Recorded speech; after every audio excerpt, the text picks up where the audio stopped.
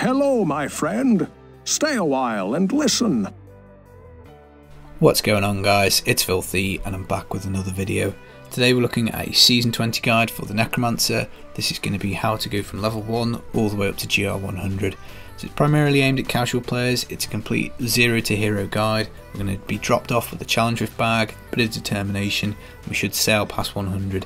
Even with only 800 Paragon, we're going to do it in a very tanky, very easy to play way. So I'm going to show you all the builds that you need to transition into, so should be pretty good. So in today's video we're going to talk about what to spend your challenge rift bag on as the Necro, we're going to talk about some items you can find on the way up to 70, we're going to talk about what to do at 70, so what to spend your materials on, so again blood shards and DBs. We're going to look at the Legacy Dreams gem because a lot of players I think are thinking maybe to just jump straight on that. We'll look at the Trag'Oul set, talk about the pros and cons of both those methods. I'm going to show you a Nova Trag'Oul build that will do GR 75 in about 3 minutes, so you'll get primals unlocked very quickly. I'm then going to show you a Legacy Dreams version of the build, which will do GR 85 88 again in about 3-4 minutes without any augments and without much juicing at all. And then finally we're going to show you the push version of the Nova build, which will clear 100 pretty easily with about 8-900 Paragon. I think we did 103 with about 5 minutes to spare on PTR, so pretty powerful build. Then we're going to have a chat about mages, which is going to be the XP meta farm, I think, for the solo necromancer. Really good for gem ups as well, so again, we'll have a chat about that, and then maybe have a little bit of a chat about thorns. So if that sounds up your street, yeah. Stick around. As always guys, welcome to anybody who's new to the channel, hit that subscribe button if you haven't already done so. I've got plenty more D3 Season 20 build-up material coming, so hit notifications and that way you know when the videos are ready. And as always, a thumbs up is appreciated and does motivate me to make more of these videos. And also, is this kind of video style that you like? Do you want me to do up to GR100 or do you like the more traditional starter guide? So jump in the comments, let me know. So kicking us off, the Necro gets a pretty good time with the Challenge Rift bag. We're going to upgrade two-handed scythes. There were only four options. So the best one for me is the Bloodtide Blade. We get 400% increased damage on Death Nova for every enemy within 25 yards. If you get this, you can mask a bonus on really high difficulties because this multiplier scales really well. The only downside is you outgrow your items very quickly, and that means that you're going to get squished if anything touches you. So I'd recommend going to the Halls of Agony, because skeletons are pretty slow, they're easy to manipulate in place, and you'll just blast them apart. Obviously it is a little boring just quitting the game, but it will be the quickest way to get there. So by all means you can just riff with this, it is a pretty good item anyway. Now one place I would avoid is the Fields of Misery because the Spear Chuckers will wreck you. So as I say, I've done this in the past, it is pretty good. You're just going to die a few times whilst you level and obviously don't do this if you're doing hardcore. Now the next best I would say is going to be the Nayr's Black Death. We get 100% increased damage for every poison skill used within 15 seconds. Easy to get 3-400% on here. Necro's got some pretty good poison skills. So most of the generators have got poison on them. Dislocation's a good poison ability. What I would say though is, is you don't want to stuff 6 on your bar because you're just going to give up too much utility. So I'd aim for about 4 and it is pretty strong. But also bear in mind guys, Necro's got some pretty awful poison abilities, so I wouldn't use it with the Golem and I wouldn't use it with the Mages either. Both of those pretty poor, but really good multiplier, 300%, 400%, really, really nice. Now next we've got the Shadow Hook. This will just give us a double damage pretty much to everything. So really easy to build off what the game finds, or what the game drops you rather. So again, really nice multiplier. Now the last one is for me, it's going to be the Maltorius. The multiplier looks really good because it's 700%.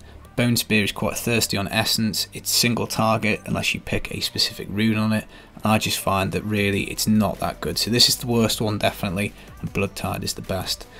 Now we do also get blood shards to spend. What I would do is if I got the Bloodtide Blade, you don't need to worry about corpse explosion gloves. Um, Death Nova will absolutely smash trash and corpse explosion isn't single target anyway so I wouldn't roll for the gloves but I would roll for corpse explosion gloves on anything else so grasp of essence just pull it up uh, it is in the armor too used to playing PTR where everything's on the same screen so Grasp of Essence, we get a multiplicative damage increase to Corpse Explosion.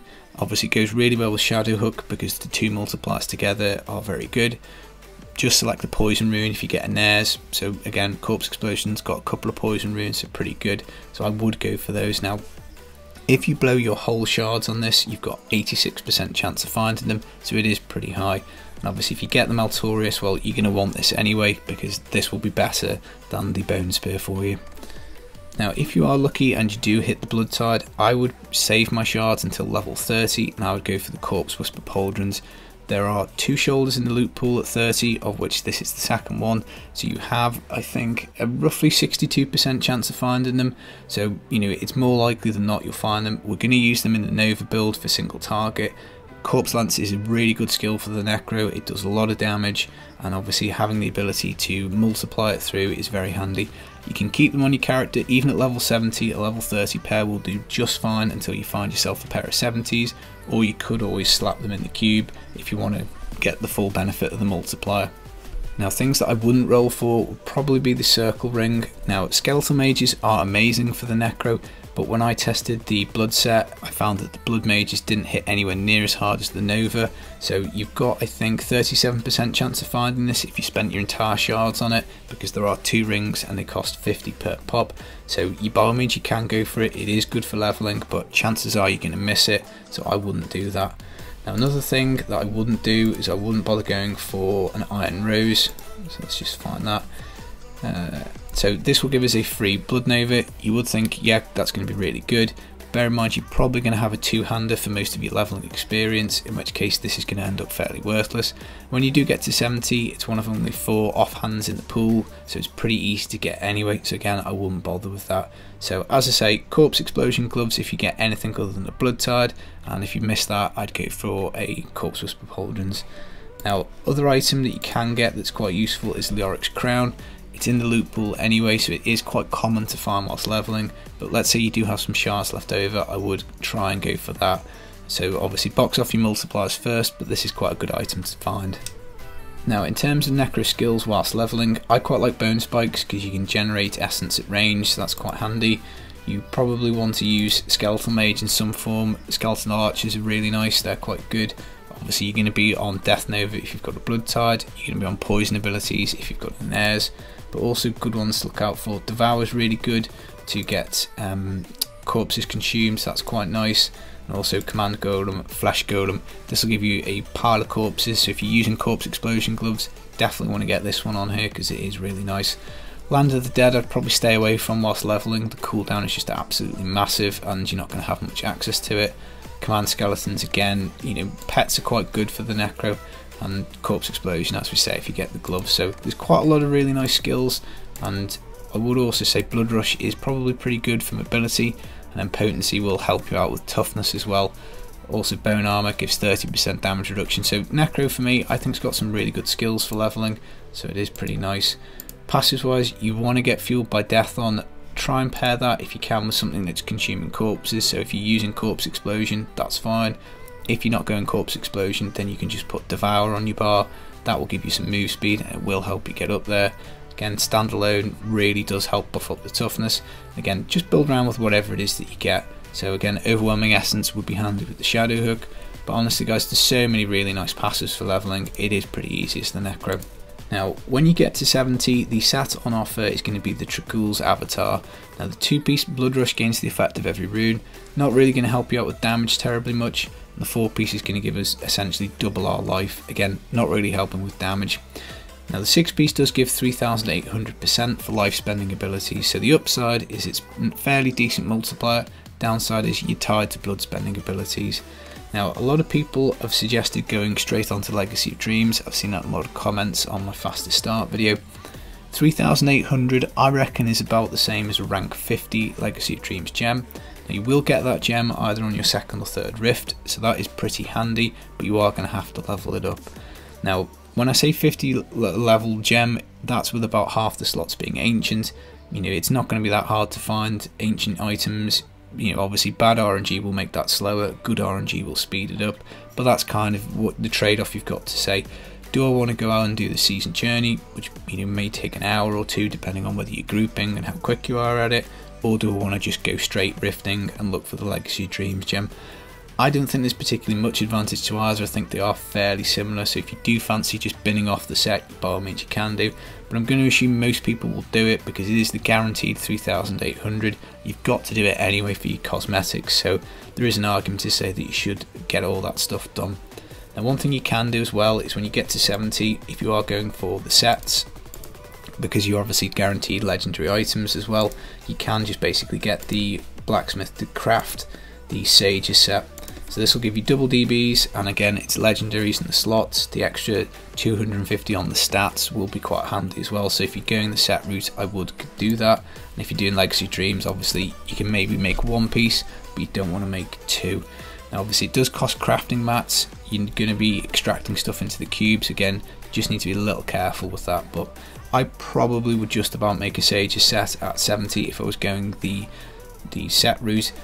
But I probably, if I do roll Necro, will just do Legacy Dreams because I just personally find that more fun. I like building what the game gives me. Now, in terms of the Trag'Oul's build, we've got some footage in the background now. What I would say is it's not that hard to put together. You will require a RORG, so you are going to have to do some bounties because you do need a way of killing single targets but you could always put Corpse Whisper Pauldrons in the cube until you get up to that point. So in terms of what to do with your materials when you get to 70, you're looking for multipliers in the cube. So DBs should be spent on upgrading two-handed scythes, one-handed scythes. You're looking for obviously Shadow Hook, looking for Trag'Oul's Corroded Fang, you're looking for the Scythe of the Cycle, you're looking for a Bloodtide Blade if you missed it.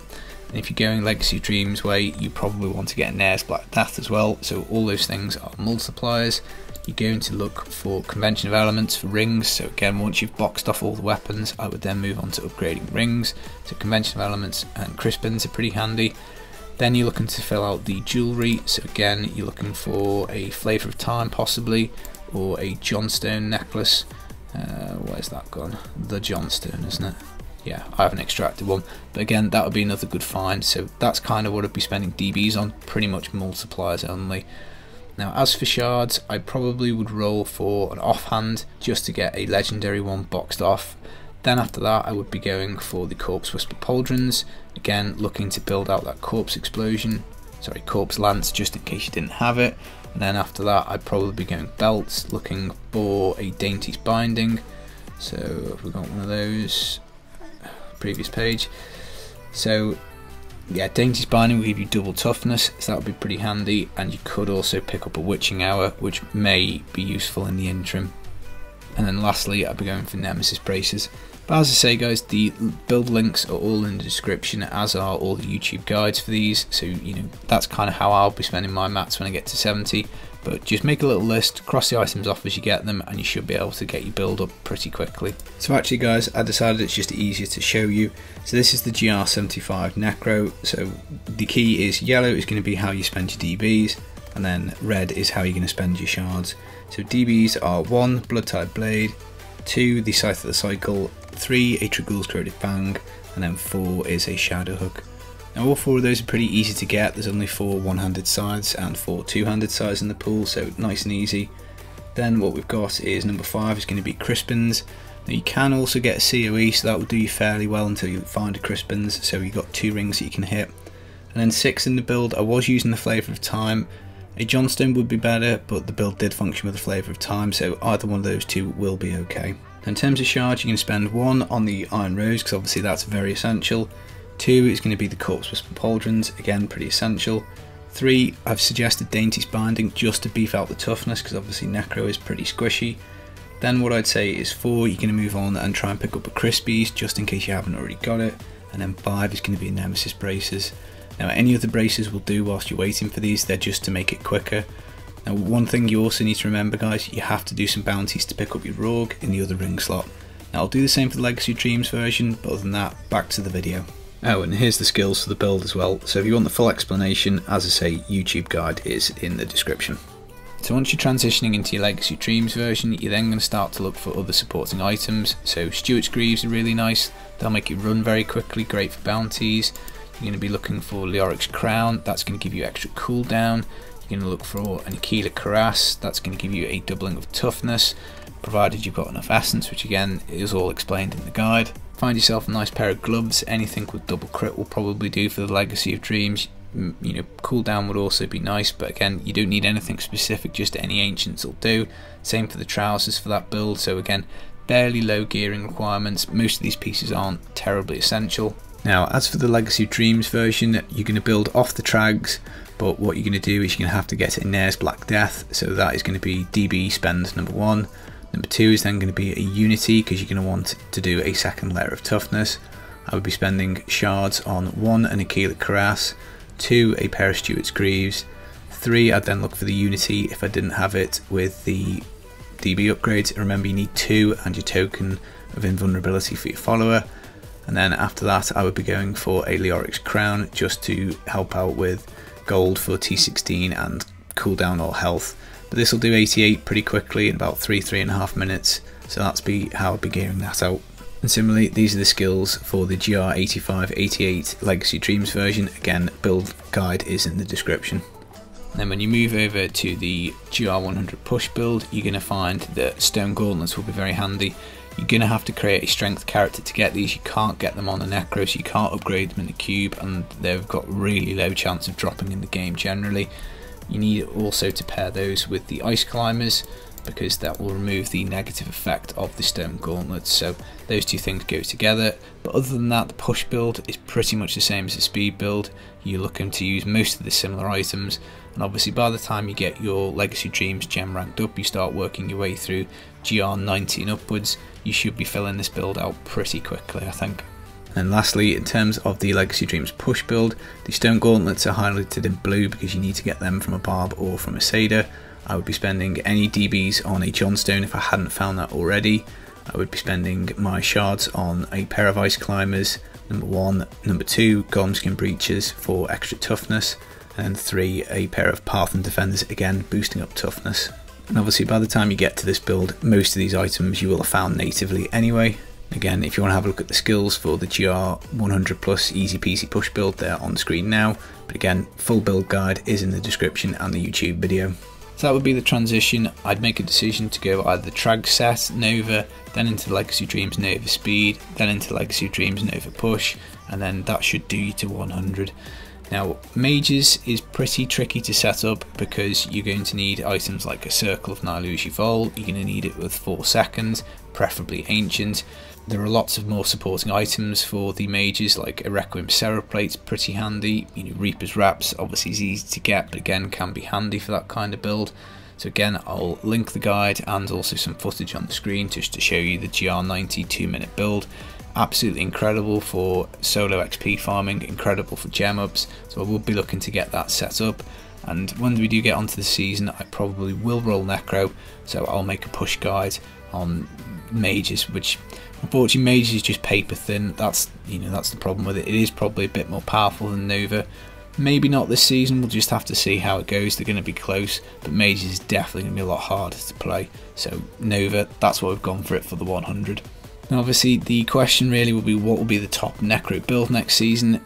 I've got a slight suspicion and a bit of a worry that it's going to be Thorns again. Obviously, Thorns will benefit from the cube being open, and it's it's not a playstyle that I particularly like. I don't enjoy fishing, I don't enjoy the kind of passive nature of it. But if there's enough interest, I will do a guard on it for the season. But we'll have to see. Nova is going to be powerful, mages are going to be powerful. So fingers crossed, I'm hoping that one of those two builds beats out Thorns. But obviously, as I say, it will be buffed up by the season, so we'll just have to kind of see. So that's it guys, I hope you found this useful. The stats hopefully will let you make some informed decisions about what to spend your stuff on. As I say, all the links are in the description, so if you want to just look at the D3 planner for any of the builds that we've talked about, they will be in there. And the YouTube guide in full if you want to go and know how to play the build a bit more. But other than that guys, I've been the Filthy Casual. I wish you all the best for Season 20 say your prayers to RNGesus, and I hope you get what you want on opening night. And I hope your Primal is a pretty good one when you do bust 70. I'll see you next time. Take it easy. Peace.